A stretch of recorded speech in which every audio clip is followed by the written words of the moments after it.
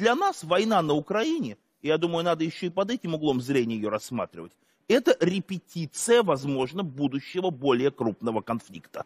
И поэтому то, что мы испытаем, померяемся с натовским оружием, посмотрим реально на поле боя, насколько сильнее реально наше оружие их, это, может быть, будет школой для нашего будущего.